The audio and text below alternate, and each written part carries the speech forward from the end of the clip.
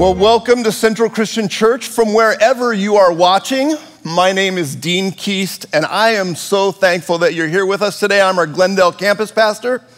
And if you've not met our other campus pastors yet, you're going to have that opportunity today. And that is uh, something I'm excited for you to experience. Now, I want to ask you as we begin to uh, consider uh, this statement that the church is intended to be more like T ball than like Major League Baseball. Now, I know some of you, as soon as I say baseball, you're like, ah, it's boring. I, I don't like sitting around for hours watching a guy, guys on a field with a stick chasing a ball. But if you're like me and you love baseball, you're like, ah, sitting around hours watching guys with a stick chase a ball. I mean, we, we love baseball, or you really don't like baseball. But T ball is an entirely different category. It is controlled chaos. In fact, probably all of us have a T ball story, if I'm guessing correctly. But T ball is all of these youngsters running around on a field, having someone who uh, has played the game before them, someone who has uh, some knowledge of the game at least, trying to instill something in them new skills, new knowledge, trying to capture their attention, which you know is part of the stories that all of us have about T ball. Everyone is eager to play the game, but eventually, it becomes something that we just allow the professionals to do. And I wonder if we've done the same thing with the idea of living out our faith. At the very beginning, it's so exciting, but eventually, we just let the professionals do it and we invite our friends to come and watch. Now, Jesus lived in a time where people were preconditioned with this idea that they didn't get to live out the, their faith in uh, their religion. It was something that was just more done through rules. But the, the priests were the ones who did all of the work. But Jesus seemed to come along, and it seemed like there's more importance to what happened outside of the building than what was happening inside the temple. And so he gathered around him 12 disciples that he wanted to, uh, to coach along the way. And he chose not the first round draft picks, so to speak. He chose, uh, you know, not the sharpest knives in the drawer. In fact, Luke, in one of his letters, says that people looked at the disciples and they no- noticed that they were unschooled and ordinary men.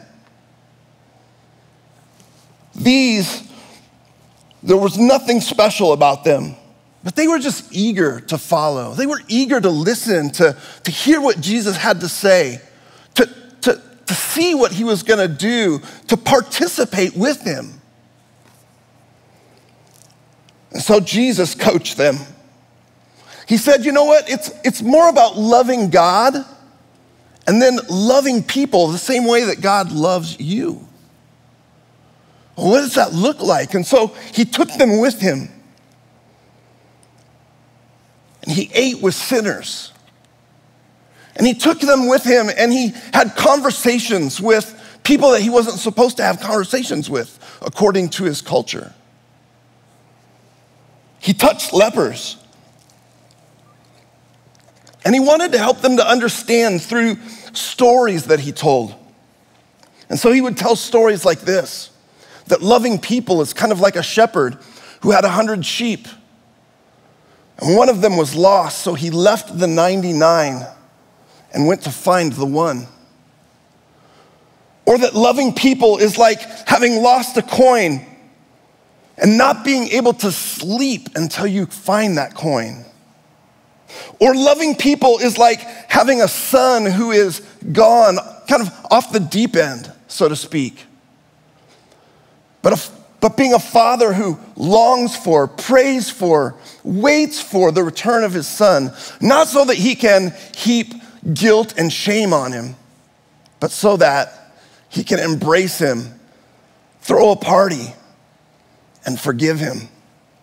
See, this is what Jesus coached his disciples in. And then he said, This is for all people, everyone, all nations. And in the blink of an eye, Jesus leaves the disciples. He ascends into heaven. And he leaves these 12, actually 11 at this time, one had dropped out. But he leaves these 11 with this burden on their shoulder of all people. How do we do that? How do we, how do we communicate that to a community of people who have always allowed the priests to do all the work? So, Peter, one of those disciples, writes a letter. And he writes a letter to the church all throughout uh, Asia Minor, even into Europe. And he says to them uh, something that I think translates not just to those people who heard it then, but it translates to our own hearts. And so I want to ask you to internalize this because this letter that he wrote was so cherished that it was kept for ages and ages. In fact, it was put into our scripture. We know it as the book of First Peter. And so in First Peter chapter 2 verse 9, it says this, "But you, and he's speaking to all followers of Jesus, you are chosen ones of God. You are chosen for the high calling of priestly work. You are chosen to be a holy people. You are God's instruments to do the work and to speak out for God, to tell others of the night and day difference that He made for you. That He brought you from nothing into something and from rejected to accepted. This is our calling. This is your calling. Your campus pastors want to introduce you to four people from the New Testament, men and women who would have been in the audience. People sitting in the seats of the church, watching as the disciples, the, the professionals, led. But they got up out of their chair as if to say, God, I am unschooled. I am ordinary, but use me to bring people closer to God. Or if you were with us last week as Albert Tate spoke, he might say, This is a really dumb idea, but maybe God, you could use my life to bring people into a relationship with Jesus. And I'm going to turn you over to John Moten now as he's going to tell our first story.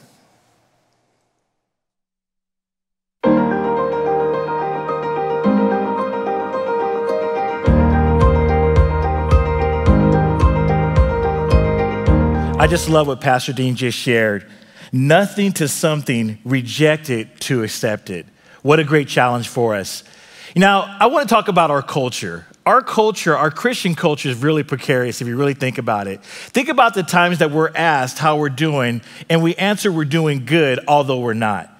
Or think about the times when we used to drive to church, uh, when we were in the car, we have a very heated argument, and the minute we get out of the car, even though we've been screaming at each other, we respond by saying, We're doing good. How are you doing? I'm doing well. It's funny how we answer certain things, right? But one of the most precarious answers that we have in church culture, now I don't want you to feel bad about what I'm gonna say, and I'm not talking about any particular campus. I'm just saying that it's if you said it, don't feel bad about it. But I love the answer that we often have when we are asked to serve, step up, or step out. You know, if someone asks you and reaches out to you for you to be involved in some kind of capacity, and your answer is this, and, and it makes a lot of sense, the answer is, I'll pray about it. Now, the reason why I find it so precarious, because let's think about, yeah, you should pray about it, but think about this. What if your campus pastor called you and said, hey, uh, they, they called, you answer, I have $12,000 and uh, I really feel that God's laid on my heart to give you this $12,000. No, it's not stolen. I just want to give it to you. Now, be honest. How many y'all would say, I'll pray about it? I bet your answer would be simply this absolutely. Now, how come we can't be more like the character I want to talk about in the Bible, Lydia? Lydia was one of those characters in the Bible that was in between the great things that happened in Paul, the great things that happened in the cell, the jail cell, that we could easily miss. And so I want to read to you out of Acts chapter 16, verse 13. On the Sabbath, we went outside the city gate to the river, where we expected to find a place of prayer. We sat down and began to speak to a woman who had gathered there. One of those listening was a woman from the city of Thyatira named Lydia, a dealer in purple cloth. She was a worshiper of God. The Lord opened her heart to respond to Paul's message. When she and the members of her household were baptized, she invited us to her home. If you consider me to be a believer in the Lord, she said, come and stay at my house. And she persuaded us. Now, the important thing you could easily miss in this passage Lydia urged them. She invited them. She persuaded them. She reached out. She, per, she persisted that they stay with her. Now, from all accounts, her enthusiasm was very evident. She exhibited something I want to talk about right now, and that is that she had generosity with her hospitality. Generosity is the word I want you to think about because this is the kind of thing that we need to have as a church as we think through how we could say, God, I want you to be made known. God, I want you to be experienced. God, I want others to hear about your hope and your promise and what you are. And that's important that it's so much in that that I invite people. I have generosity. Now, these kind of things, it's combined with hospitality, but it's being and having an urge to see God, I want others to know about you. Now, is your response when you want to serve, when you want others to know about the hope that you have in Jesus, is it conditional? Do you have to pray about it? Or will you be faithful? Now, there are two things I want you to know. Two important things, and I believe all of our campus pastors would say the same thing. Two things that really is the heart of, your, uh, of your campus pastor. And the first one is this we want something for you, not from you. We want you to experience God's goodness, His grace, His purpose, His love. We want you to understand and, and discover more about what God is doing. We want you to respond to the things that you hear on any given weekend. And you know what? Speaking of things in responding of any given weekend, you know what the greatest compliment you could give to your pastor or anyone who is speaking? You know what the greatest compliment you could give to them is not good job. The greatest response you could give to them is simply this I'm going to live that out. That's the greatest compliment. That's the greatest response you could give because that is a response to what Lydia did. Lydia, Lydia heard this message and she responded to it. The second thing I want you to know about is this understand there is more to life than me. It's not just a t shirt, it's a lifestyle. It's experiencing the incredible presence of God in that you want others to know about this as well. You want others to experience the hope that you have. Lydia persuaded, Lydia was persistent. Could you imagine a church that lived out this, that lived it away so much in that, that they were so faithful, they responded to the message, and they wanted others to know about this hope. Now, Pastor Steve's gonna share more about what this looks like.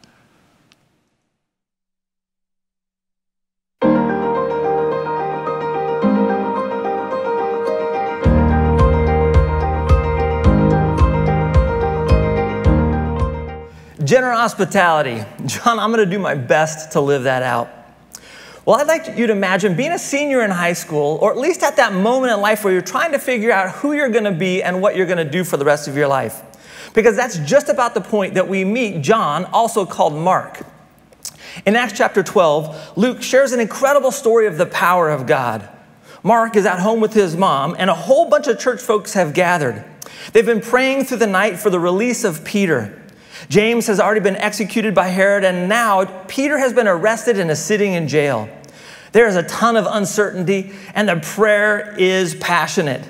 Somewhere before dawn, there's a knock at the door. Rhoda goes to see who it is, and Peter is knocking. No one believes her at first, but he keeps knocking. As Peter steps in, he has to quiet the crowd. They can't believe the power of God or that He has answered their prayers in such a miraculous way. Those present were astonished to say the least. They prayed, God moved, and Peter is free. Can you imagine being there that evening? Can you imagine being with the apostles and experiencing the uh, power and excitement of seeing God move? What would being in those situations and with these people do in the heart of a young man? Or in any of us for that matter? Like any of us, Mark wanted to be used by God. He wanted to make a difference. He wanted to see God save and change lives. And it wouldn't be long before the do- doors would open for Mark's big opportunity. Mark's cousin Barnabas and the evangelist to the Gentiles named Paul were going on a grand adventure, a trip around the Mediterranean to bring the gospel to the world. Mark can't turn this down. God has opened all the doors for him. He had to go. It was such a simple answer to join them. Have you ever felt so sure that you're following God's plan, His direction, His calling in your life, only to find out that somehow you've gotten it horribly wrong? We don't know exactly why, but Mark turns back, leaving Paul and Barnabas. And we know that his departure wasn't planned or appreciated. Because of Paul's reaction, then next time Mark wants to be brought along on their trip. Paul and Barnabas, in fact, have such a big argument about bringing Mark along that they part companies and take their own separate trips. Have you ever stepped out for God and failed just like Mark? Have you jumped into ministry and found out that you were in over your head? Or have you walked through the doors that, that God has apparently opened only to find out that you don't even know where you're at? There are two powerful tactics that the devil uses to keep us from being all that God has created us to be. Mark made it over the first hurdle, which is just the fear of taking that first step. That one probably stops more people than the second, but the second is equally successful. The second is discouragement. How easy would it have been for Mark to give up? He had followed God's lead, and it had turned out miserably for him. Why try again? Where was God the first time? Obviously, Mark doesn't know God's will for his life. But thank goodness for the Barnabases that God places in our life. The sons of encouragement, those who fight for us and give us the courage to try again, those who believe in us and offer us a second chance. Well, Barnabas includes Mark in his missionary journey.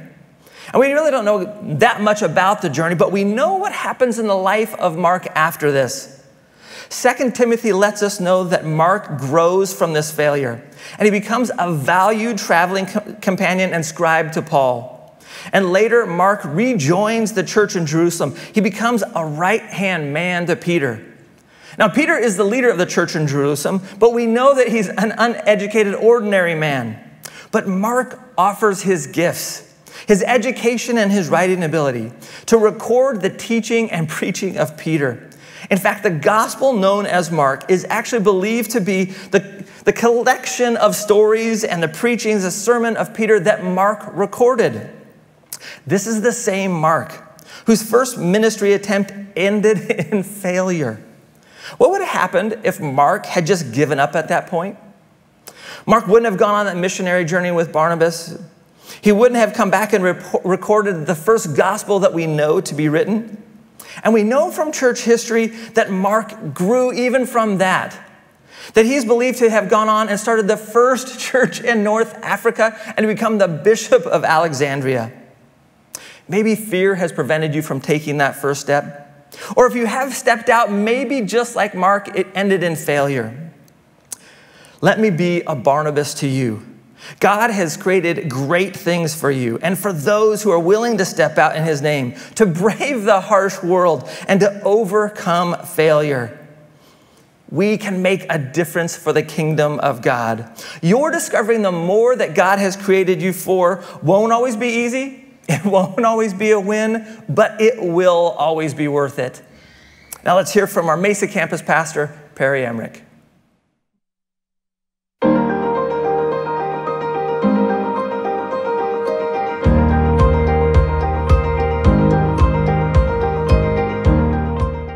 Hey, thank you, Steve. There's a term that's used a lot in missionary context to describe global workers who support their own ministry efforts. It's the term tent maker, and it comes from Acts chapter 18, verses 1 through 4, which says this After this, Paul left Athens and went to Corinth. There he met a Jew named Aquila, a native of Pontus, who had recently come from Italy with his wife Priscilla because Claudius had ordered all Jews to leave Rome. Paul went to see them, and because he was a tent maker, as they were, he stayed and worked with them. Every Sabbath, he reasoned in the synagogue, trying to persuade Jews and Greeks.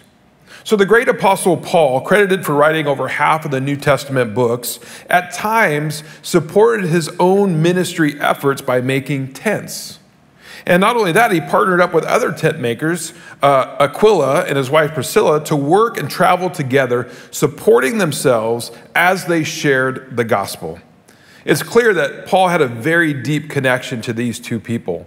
As he brought them along with him, as he, he wrote about them in his letters, he even in Romans chapter 16 commends them for risking their necks to save his life.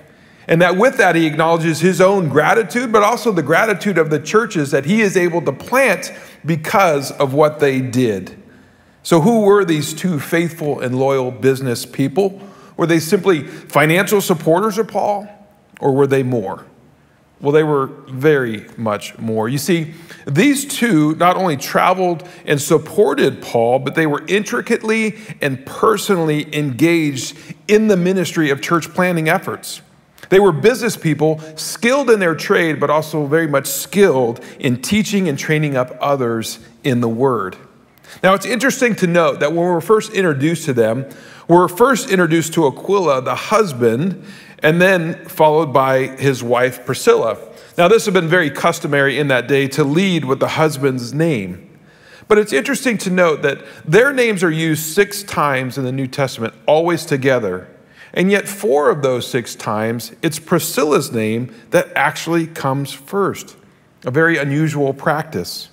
But one that seems to indicate that Priscilla is perhaps the more accomplished teacher the more effective leader in uh, particularly in the work of, the, of ministry that they were doing and they did a lot of ministry work you see after spending about 18 months in corinth with paul they all three traveled to ephesus where they planted another church but soon after paul moves on and priscilla and aquila stay there to help invest and grow this young church which leads us to a story that i think distinguishes their ministry cred more than anything else.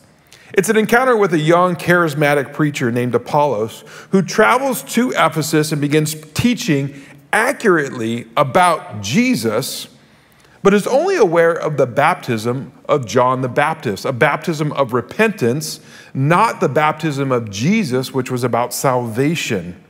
And so it says in Acts chapter 18, verse 26 that Priscilla and Aquila invited him to their home and explained to him the way of God more accurately. They took the time to teach this young preacher accurate theology. Well, Apollos goes on to have an amazing ministry, impacting countless people for Christ. Because these two business people were able to teach Apollos accurate theology, he was able to teach others about the true salvation baptism of Jesus. Now, there's some that think that Apollos was one who actually wrote the book of Hebrews, one of the most important books of the New Testament, whose authorship is unknown. But there's others who have proposed that Priscilla may have actually written the book. And her name was withheld to, in order to prevent the dismissal of this master writing simply because she was a woman and not a man.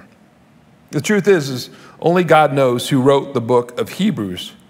But what we know is this God used these two business people as critical parts of impacting the entire world.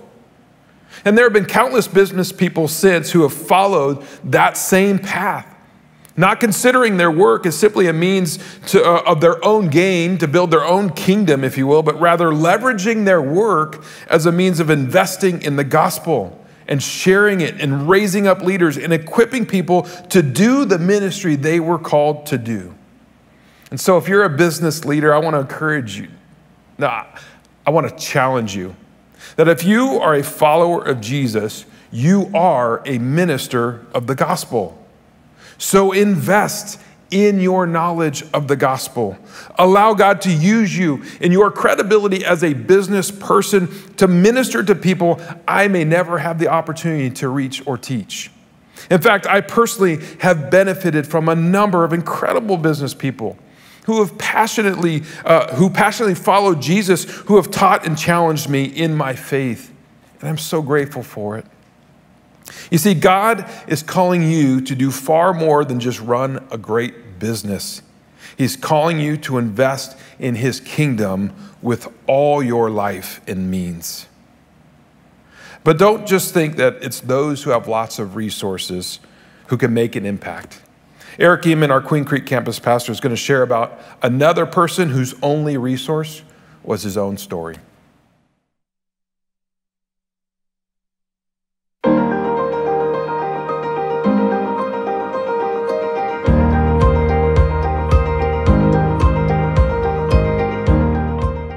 I love the story that Perry was sharing about Priscilla and Aquila, of how they lived their life as they went through learning about Jesus and then teaching about Jesus and making disciples. They were, in fact, modeling the way Jesus made disciples. Jesus was always calling people to him. In his disciples, you could see people who were spiritual, unspiritual. You could see people who were business people and people who had questions. You could even see that there were people that just weren't like him at all. Jesus was always calling people to him. Because that's what teachers do. They find disciples and they teach them. And yet there was one that Jesus didn't call to him. There was one disciple he wouldn't let go with him. And we don't know much about this man, but we do know that his life was transformed. We know that he lived in the community of Gerasene. We know that his life was a mess. He was forced to live out in the graveyard because he was banished there by his community. We know he was mentally in turmoil. We know that he was destructive and strong and could break all the chains that they tried to bind him with. We know that he walked around naked and cut himself, and he was scaring people. And of course, he scared people. He was walking around naked, cutting himself. But we also know something more importantly that Jesus restored him. And in this dramatic scene, as Jesus his boat comes to the shore. This man comes up and kneels before him, and Jesus finds that he is demon possessed. He casts these demons into these pigs that are nearby that run off a cliff. And those herding the pigs are astonished by what they see. They run into their village, they get everybody they can, and they walk out to see what's going on. And when they return, they see something astonishing. This wild man, this powerful man, this naked man was sitting in his right mind, clothed, talking to Jesus. And all we can gather from this moment is that Jesus spent just one afternoon with this guy. And at the end of the day, Jesus went to get in his boat, and this man begged to go with him. And we can see that in this passage, Mark chapter 5, verses 18 through 20.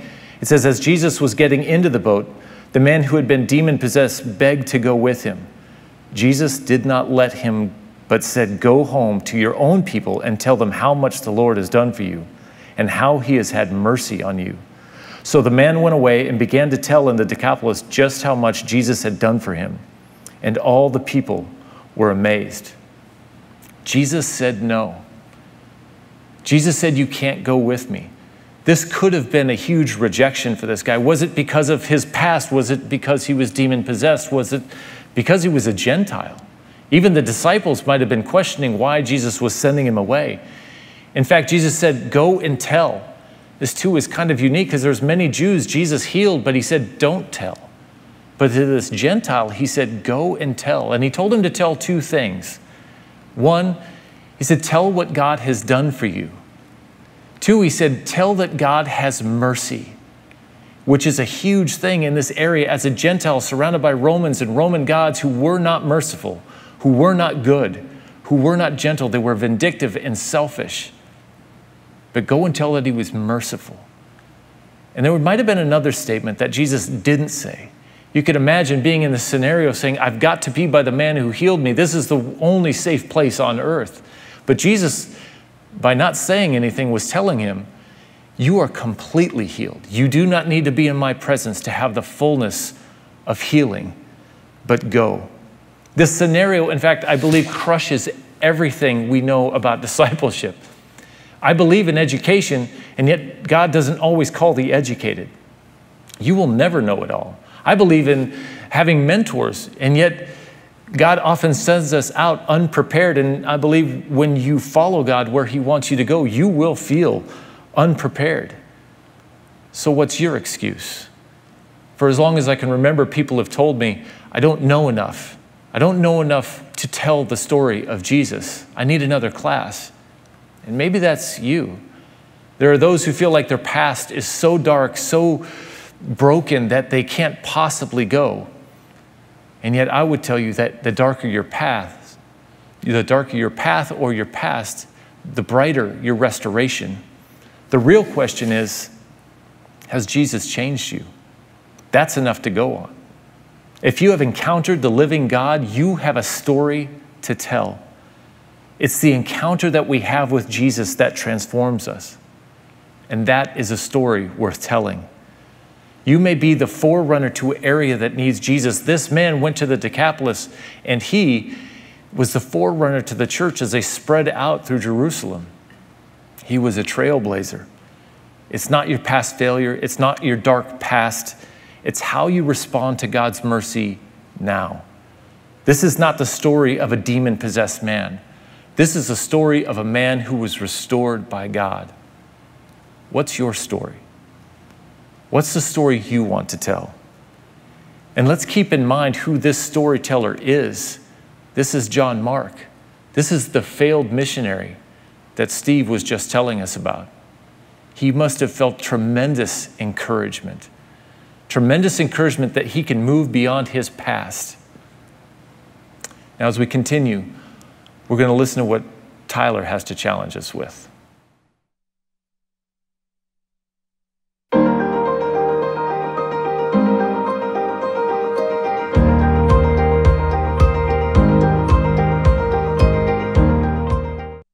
So I'm going to wrap this up by reading the words of Apostle Peter. Now, he's writing this to the church, and I want you right now to lean in and act as if he is writing this directly to you. This is found in 2 Peter 1 3 through 8. By his divine power, God has given us everything we need for living a godly life. We have received all of this by coming to know him, and the one who called us to himself by means of marvelous glory and excellence. And because of this glory and excellence, he has given us great and precious promises. These are the promises that enable you to share in his divine nature and escape the world's corruption caused by human desires. In view of all of this, make every effort to respond to God's promises. Supplement your faith with generous provision of moral excellence and moral excellence with knowledge and knowledge with self control, and self control with patience and endurance, and patient and endurance with godliness, and godliness with brotherly affection, and brotherly affection with love for everyone. The more you grow like this, the more productive and useful you will be in your knowledge of our Lord Jesus Christ. Translation, you have all that you need. Now, those are my words. Those are the words of Peter. And Peter would say, Don't take it up with me, take it up with God, right? So if you're denying right now that you have everything that you need, you're denying the power of God. If we think that we're not qualified, that we're not called, that we're not prepared for ministry, we are doubting the promise and the provision of God. So, so look at me, watch this, and, and listen very carefully. Jesus didn't die so you could just watch, He died so you could live. So live this life to the fullest. Live a life that glorifies God. Live a life that serves others. Live a life that makes an impact that you were designed to make. Now, our campus pastors, they shared all of these real stories from Scripture that inspire us. But here's a few of the stories that we could have shared, but we didn't have time, but just to encourage you even more. Ananias had the courage to go where God called him to go. The Ethiopian eunuch was the first to bring the gospel to northern Africa. Phoebe, and I'm not talking about Phoebe from Friends, she was a deacon in the church and a benefactor of Apostle Paul and many others.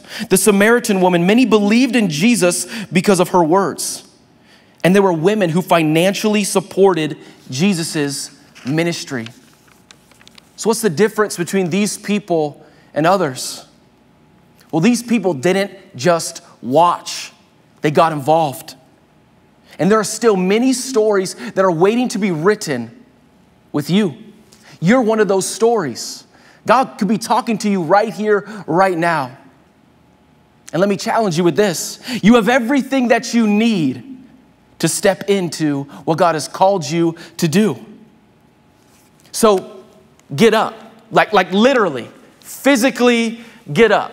This is not a metaphor, okay? Get up from your chair, from your seat, from your couch, wherever you are right here, right now. You're like, that's really awkward, that's weird. Just, just humor me on this one.